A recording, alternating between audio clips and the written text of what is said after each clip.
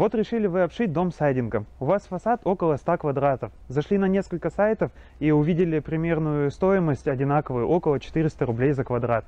А, прикинули эти 100 квадратов, то есть примерно у вас получается 40 тысяч рублей. А, но эти цифры далеки от реальности. Давайте разберемся, почему так происходит.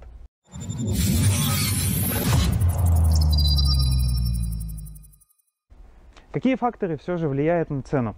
Основное, конечно же, это само сырье. То, что вы приблизительно посчитали 40 тысяч, это обойдется вам сам сайдинг. Но тут тоже не все так просто. На этом этапе вас могут очень легко обмануть э, недобросовестные продавцы. Поэтому досмотрите это видео до конца, и вы будете понимать все тонкости при покупке сайдинга. Сайдинг бывает различной толщины и различного покрытия, если рассматривать металл, и с различными добавками, если рассматривать пластиковый сайдинг. Вы позвоните в одну компанию, вам дадут цену в 40 тысяч рублей, позвоните в другую, вам дадут цену в 35 тысяч рублей. Вы можете подумать, какая хорошая компания и цены дают хорошие. Но проблема в том, что вам просто-напросто предложили разное сырье и разные материалы, то есть э, там, где где предлагают дешевле, обычно это более низкого качества.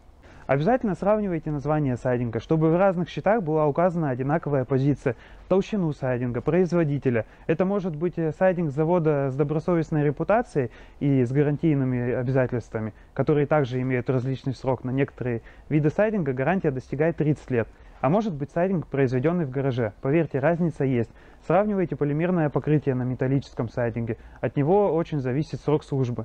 В общем, сравнивая цены на основное сырье в различных магазинах, удостоверьтесь, что сравниваете один и тот же сайдинг. Еще один важный показатель, который сильно влияет на цену, это доборные элементы. Например, стыковочная планка, отделка окон, а, планки угла. Все эти доборные элементы вы не учли, когда считали цену вашего сайдинга. Примерно они составляют 20-30% от стоимости основного сырья.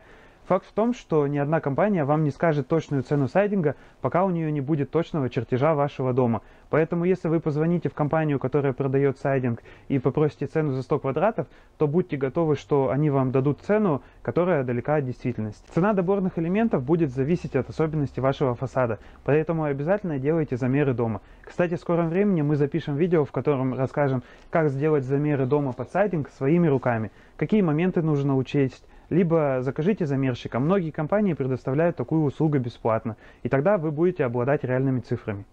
А, подсистема для сайдинга. Ее здесь не видно, она находится под ним, также влияет на стоимость вашего фасада. Самый простой вариант это сделать деревянную пришетку, но все-таки более надежным вариантом будет металлическая пришетка. А, про это мы уже много раз говорили в наших видео. Основная задача подсистемы это выровнять стены и обеспечить вентилируемый зазор между стеной и сайдингом, чтобы выветривать всю влагу, которая скапливается между ними. А деревянные бруски бывают разного качества, металлическая подсистема бывает разной толщины. Иногда даже используют металлические профиля 0,4 мм, у которых недостаточно толщины, чтобы держать в себе сам саморез. То есть, ну это просто смешно. И вся конструкция держится на одном добром слое. А, то есть получается, что обращаясь в разные компании, вы получаете несколько разных счетов с разной стоимостью. И фактически вы сравниваете не одно и то же, поэтому будьте внимательны при выборе материалов. Сравнивайте цены на одинаковые позиции и уже исходя из этого делайте выводы. Вообще желательно про каждый этап изучить поподробнее, чтобы иметь хотя бы какое-то представление, а, что вам считают. Э, что влияет на стоимость работ по монтажу сайдинга? Первое – это сложность вашего дома. Всевозможные выступы, эркеры, количество окон и дверей и прочих элементов может влиять на стоимость монтажа. Также непосредственно сам материал влияет на цену. Э, технология монтажа винилового сайдинга и металлического очень сильно похожа, но многие строители предоставляют разную стоимость на разные услуги. Цена монтажа сайдинга очень сильно зависит от квалификации сотрудников. В нашей компании сейчас работает 12 монтажников, и мы берем только самых лучших себе в команду, чтобы сохранить добросовестную репутацию и выполнять качественные монтажи по технологии.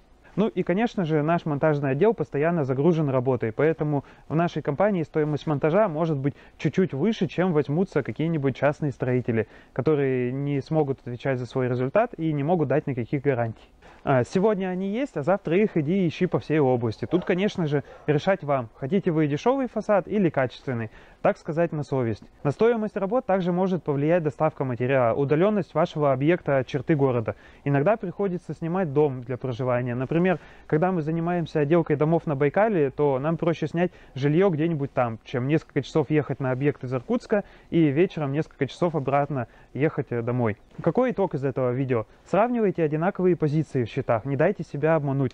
Я бы все-таки рекомендовал обращаться к профессионалам своего дела э, с большим портфолио и опытными монтажниками. Подписывайтесь на наш канал, оставляйте комментарии. Очень интересно читать то, что вы пишете. По возможности мы отвечаем почти всем. До новых встреч!